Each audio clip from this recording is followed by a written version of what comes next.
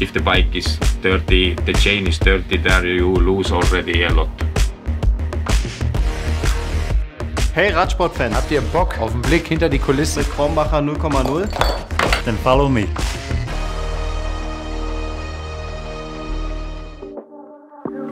Cycling is in these days really like uh, really going more and more and technical and uh, marginal things, small things is uh, make the differences a lot. And uh, my job is to work together with our sponsors to go wind tunnel testing, to go track testing, to do the aero testing. That the power they use is used maximum way and to to make the material fastest as possible.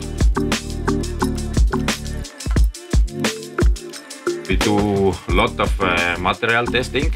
We have uh, aero helmets, we test aero clothing, we test five different prototypes uh, of the skin suit for the TT and also wheels and tires uh, less rolling resistance is really really important and we were to improve improve improve the rolling resistance but don't lose the grip in the same time.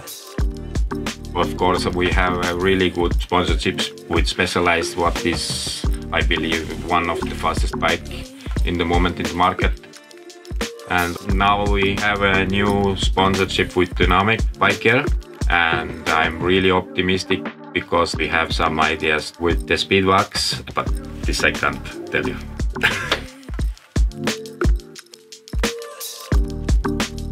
So the, the wind tunnel testing is basically we figure out what is the fastest position to ride. The, the rider have to be small as possible basically on the bike. After that we go track testing because uh, sometimes wind tunnel tests show our good numbers but we have to find the really medium way what is also rideable because when you are really aero position you lose the power in the legs because you are basically too much flapped together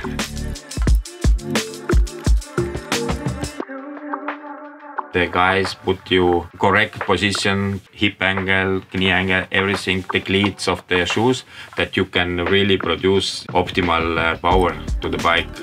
If you do it by self and uh, if the position is uh, wrong if you go too low or too high then uh, for sure you are not in the good way.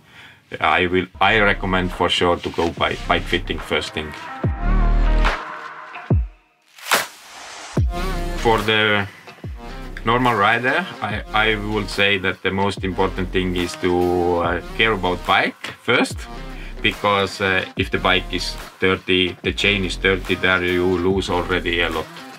So you have to follow also the tire pressure, uh, what is on marked on the tire normally, because this is the pressure what producer recommend for you.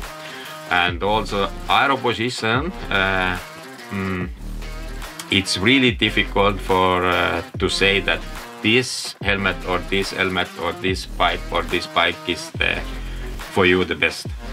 Uh, I recommend to go to the specialized uh, uh, some bike fitting first for sure because there start everything uh, step by step.